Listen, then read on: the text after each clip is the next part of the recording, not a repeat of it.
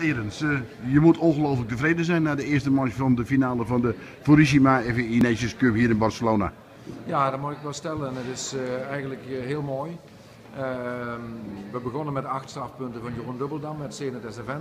Die eigenlijk naar mijn idee heel goed sprong, maar hij kwam iets te groot op de, op de okser die voor de, de, de sloot stond. En hij kreeg daardoor ook een, een, een fout besloot. Misschien net even de concentratie, de motivatie heel even weg. Maar verder sprong hij eigenlijk goed. En ik moet zeggen dat de andere drie het gewoon uitmuntend deden. En alle paarden sprongen eigenlijk briljant. Op zich heel opvallend dat bijvoorbeeld de Fransen en de Amerikanen zich niet voor de tweede ronde hebben weten te kwalificeren. Terwijl dat zilver en brons was op het eh, WK. Ja, dat is natuurlijk het moeilijke van onze sport. Het is natuurlijk een hele grote concurrentie hier. En als er 14 landen van de stad gaan, dan gaan er maar 8 door naar de grote finale op zaterdagavond. Dan, uh, ja, dan, is, dat, dan is dat een hele strijd. En je kunt, je kunt eigenlijk niks meer laten liggen heden ten dagen.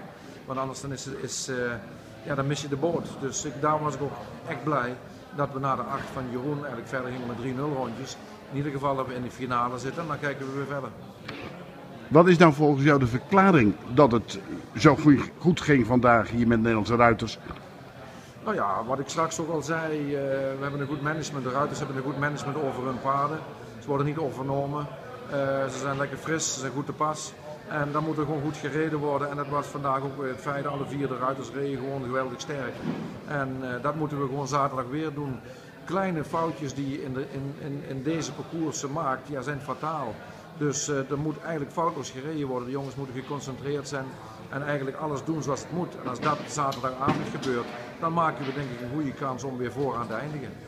In ieder geval heel veel succes. Dankjewel. Ook bedankt.